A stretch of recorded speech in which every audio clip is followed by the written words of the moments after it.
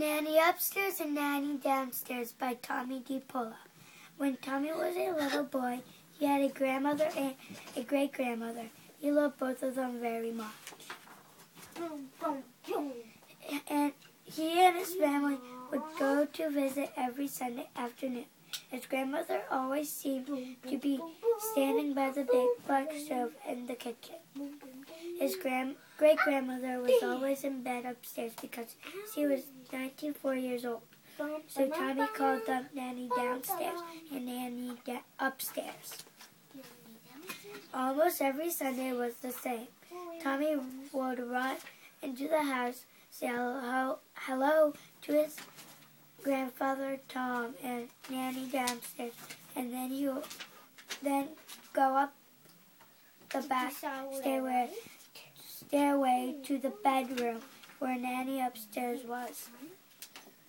Get some candy, Nanny upstairs would say, and he would open the lid of the sewing box on the dresser, and there would be candy mints. Once, Nanny downstairs came into the bedroom and helped Nanny upstairs to the big Morris chair and tie her to, and so she wouldn't fall out. Why won't Nanny upstairs fall out? Tommy asked. Because she is 94 years old. Nanny downstairs said, I'm four years old, said Tommy said. Tie me in a chair too. So every Sunday after he found the candy mint and the sewing box on the dresser, Nanny downstairs would come up the back stairway and tie Nanny upstairs and Tommy in the chairs. And then they would eat their candy and talk. Nanny upstairs told him about the little people. Watch out, watch out for the first one with the hat, with the red feather in it. He plays with matches, she said. I will, said Tommy. There he is, she said, over by the brush and comb. See him? Tommy nodded. When Nanny downstairs ha- had finished her work by the big black stove and baked a cake to eat before Tommy went home, she would come back upstairs. Now Nanny downstairs would say, would say as she united Tommy from the, his chair, he, we must all talk, take our naps. After their naps, da- Nanny downstairs would comb out Nanny upstairs' beautiful silver white hair. Then Nanny downstairs would comb and brush her own hair. Now make the cow's tail, Tommy would say, and she would twist her hair and pin it up on top of her head.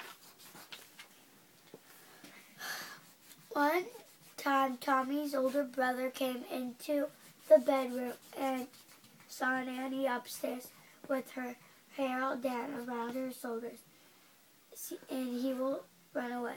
She looks like a witch, he said. She does not, Tommy said. She's beautiful.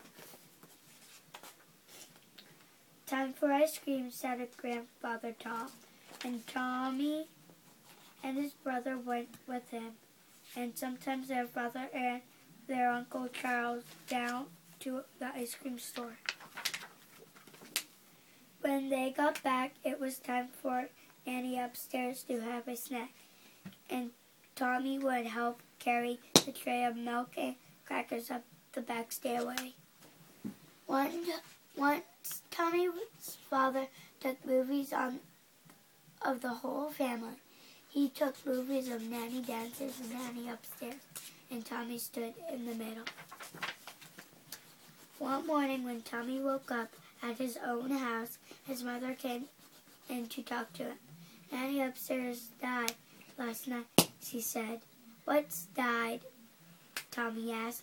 Died means that Nanny upstairs won't, won't be here anymore, Mother answered. Then they went to Tom and Nanny downstairs house. Even thought it wasn't Sunday.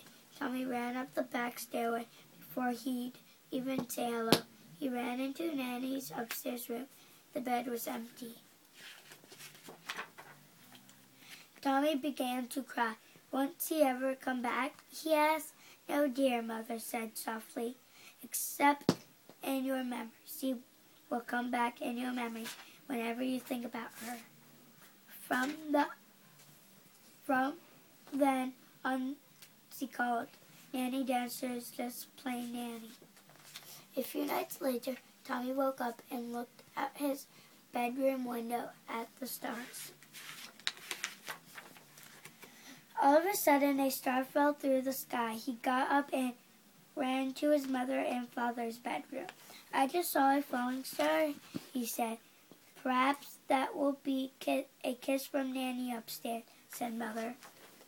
Mommy, a long time later, when Tommy had grown up, Nanny up downstairs was old and in bed, just like Nanny upstairs.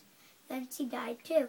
And one night, when he looked out his bedroom window, Tommy saw another star falling gently through the sky. Now you are both Nanny upstairs, he, he thought. The end.